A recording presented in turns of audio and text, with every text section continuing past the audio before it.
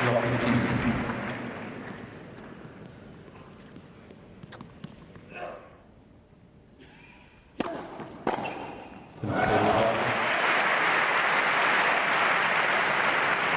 Fifteen,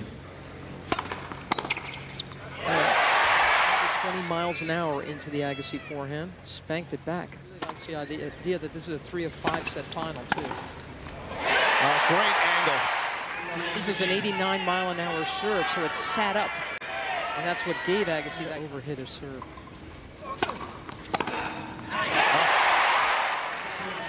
It wasn't directed well enough and it was too short.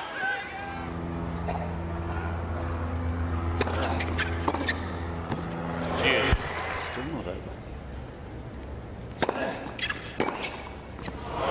Stood back a bit further this time. He's normally much closer than this.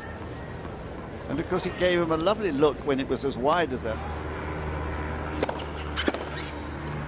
Cheers.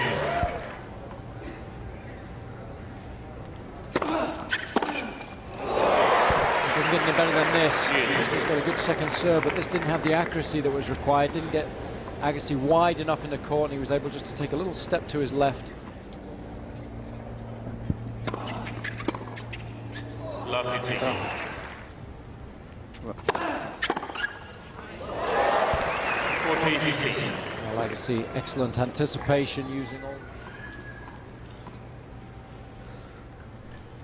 Well,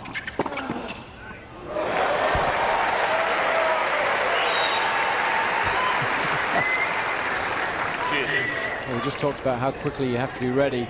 Mr. had only just finished his service motion, and the ball was already past him on the baseline. And he can't believe it.